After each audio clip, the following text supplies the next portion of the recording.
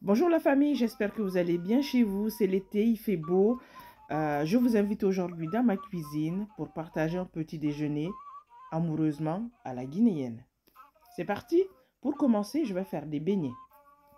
La recette est déjà dans les vidéos. Ensuite, je vais faire du mboiri, c'est la fameuse bouillie.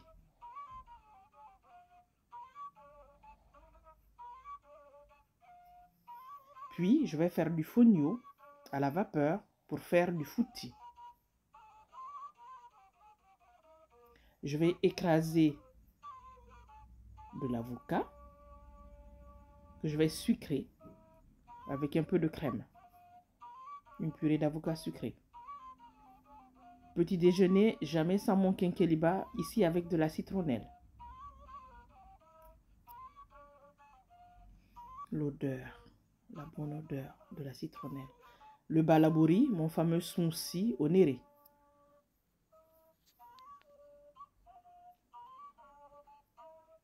Du croissant avec du pouté. Le couscous patate douce. Voilà le couscous. Le fouti qu'on a assaisonné, donc le fonio, on a mis du gombo et du sumbara. On va mettre le beauté dessus, donc la compote de légumes, le piment et le diakatou.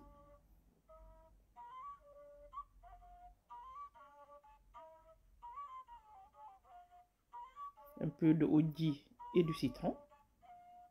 Et là, on met la table. Les beignets, l'omboiri, la bouillie, le lakiripouté et le cossan. Donc là, on le met à table. Le fouti, fognet, le fouti avec du fonio, la bouillie, la purée d'avocat, des fruits, le smoothie, le kenkeliba avec du miel. Et après, il ne reste plus qu'à déguster à Humay Nanongo. Vous invitez qui? Moi, j'invite mon amoureux de mari pour un petit déjeuner à deux. Des instants, des moments. Je t'aime, Dewi. Je vous invite à Venez, on va déguster. Il est gourmand, hein, mon mari.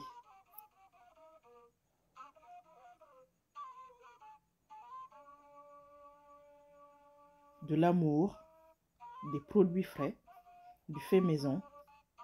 Si c'est pas le bonheur, ça y ressemble beaucoup.